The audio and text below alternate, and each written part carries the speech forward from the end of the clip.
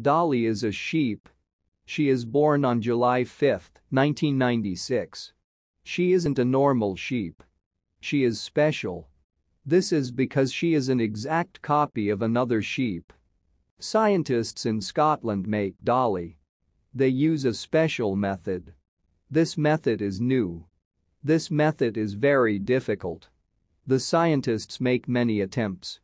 276 attempts aren't successful, but attempt 277 is successful. A healthy sheep is born. The scientists help Dolly to grow. But they don't speak about her.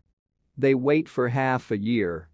Then, on February 22, 1997, journalists come to Scotland. The scientists tell them about Dolly. It is a very important moment in history.